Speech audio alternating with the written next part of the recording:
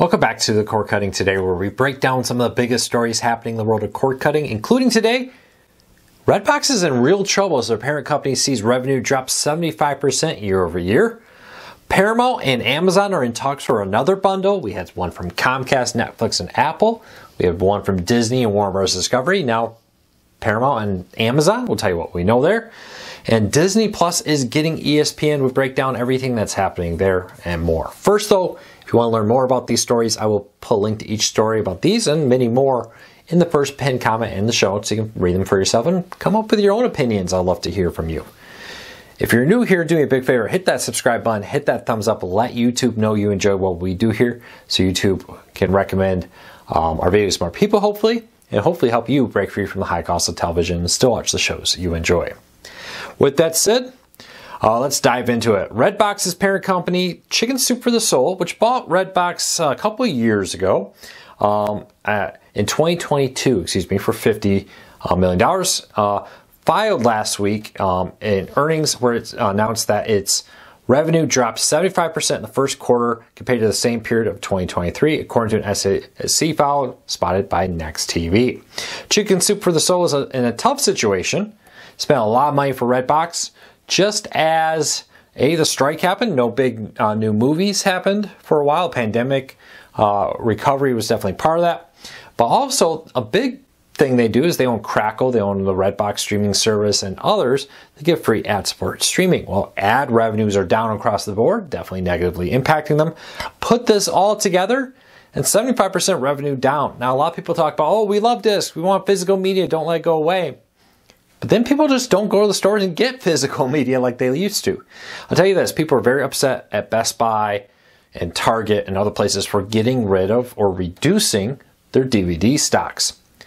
But I'll be honest, if stores had people buying them, they wouldn't do it. There's a reason why they've decided to not use that shelf space for DVDs and Blu rays anymore, instead of use it for other items, because there isn't the demand there used to be. And that's really hurt Redbox here. It'd be very interesting to see what happens here. They're also facing delisting from the um, stock exchange because the price of their um, stock has dropped below a dollar for too long. That would definitely hurt too. Uh, and they've even explored the parent company a sale of some assets, though nothing has come from that so far. So, give you a prediction. Question of the day: A year from now, five years from now, what? How long do you think Redbox as a DVD service, all those kiosks, will continue? Do you think Redbox had its day and it's now going to go away as people uh, move away from Redboxes? Leave me a comment, let me know. I want to hear from you. All right, let's keep moving along. Paramount and Amazon are reportedly in talks for a new streaming bundle. According to a report from Bloomberg, uh, Amazon and Paramount are in talks for a possible streaming bundle. Details are very thin, the talks are very early. Paramount has multiple streaming services, including uh, BET Plus, Paramount Plus. With that, now they could bundle that. You could also see them do a bundle also with some of Amazon services. Of course, they have Prime Video, but they also own MGM Plus. So you could see a MGM Plus and Paramount Plus bundle. I think um, was it Starz and Paramount uh, or MGM Plus has a bundle. There's already a bundle version of that. I could very much see Paramount Plus do that.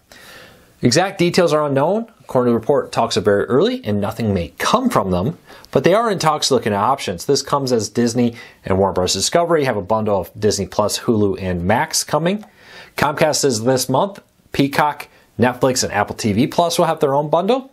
There's also been talk that Paramount and uh, NBC Universal have been in talks for some type of either bundle or joint um, deal for Peacock and Paramount Plus. Also, many um, companies out there are seeing bundles as a quick way to guarantee uh, some new subscribers, but more importantly, try to lock you in for a longer term subscription to their plan.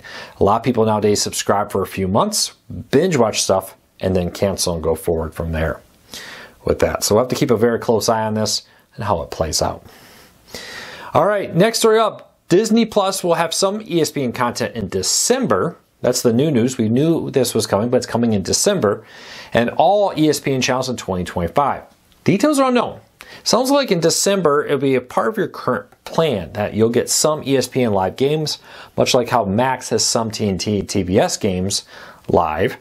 But now that'll happen with um, Disney Plus. Now in 2025, when they launch the ESPN standalone streaming service, it'll be available on Disney Plus. I'm assuming from the wording of everything and what we're hearing that it'll be an add-on with this. Um, that you'll pay an extra fee and then be able to add live ESPN channels. Very interested to see that. It really sounds like Disney wants to make the Disney Plus app. It's a one-stop shop for everything. I wonder though, because Hulu's on-demand content's been merged in, will they ever move, merge Hulu's live TV content from Hulu into Disney Plus's app? I find it kind of interesting they have not done that. With them moving ESPN channels in, doesn't seem like it'd be that much harder to move Hulu in. Maybe they are working on that. I don't know. It seems like a natural next step. Be interesting to see what they do. Now, if you own a Fire TV and you're downloading apps, be careful to the wording. Um, AFTV News spotted this first, but now downloading some apps, depending on how you download them, will automatically subscribe you to those apps through your Amazon account. Um, for example, Paramount Plus and others, if you download them, you can do download only, but by default it's download and subscribe. You need to pay attention to that Otherwise, it will subscribe you. Now, I hear a lot of people say, why would you download it if you didn't want to subscribe? I think that's legitimate, but I think it's a little easy for people to accidentally do it just because they want to check out an app, maybe take a look, see if it has any free preview content with it. Um, just keep in mind, again, if you have, especially if it's a free trial, because that makes it even more confusing the way they do the wording. But if you're downloading apps, on your screen, read the read what that button says. Don't just assume you're clicking the download app. You may be clicking the download and subscribe app. So just a PSA of the day. If you want to fire TV, just be very careful what you're clicking on with that. Overall, I actually like the idea. I like the idea of um, making signing up even easier. Because I do agree that most people who are downloading apps are probably downloading because they're either already subscribed or they intend to subscribe. I think that's a big thing there though. If you're already subscribed separately, just looking to log in, that you don't accidentally double subscribe. Keep a close eye on it. Make sure you're always reading what you're clicking, and especially with the new Fire TV settings. All right, next up, T-Mobile will be facing a class action lawsuit over its $26 billion purchase of Sprint. T-Mobile is facing a class action lawsuit that they tried to get dismissed at the um, uh, Seventh Circuit Appeals Court, uh, Chicago area, but they denied the request to ban a class action lawsuit over the merger. Some people are arguing that because of this, there's less competition in the United States, driving which will drive up the price of wireless. Now, T-Mobile had to make some concessions. The DOJ, for example, selling off Boost Mobile to Dish, which made Dish the fourth largest provider of wireless phones in the United States. But with this, though, um, there's some pressure here to a to um, put some limits on this and maybe even undo the merger, where Sprint must be spun off into an independent company.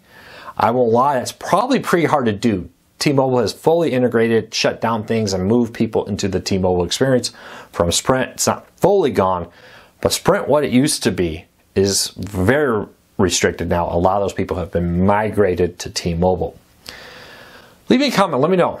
Do you think there's a legitimate case? T-Mobile says there's not. There's no proof anybody's been harmed, and there's still a lot of competition. You got Comcast and um, Spectrum with very aggressive price points getting into wireless service. Yes, they're reselling things like Verizon, uh, but that's one option.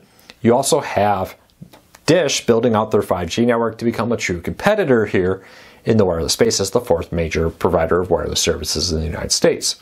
So let me comment. Let me know what you think of this here.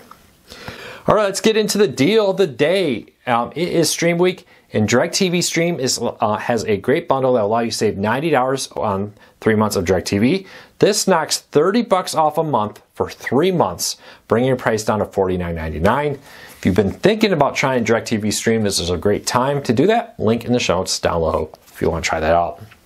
If you're new here, do me a big favor, hit that subscribe button, hit that thumbs up.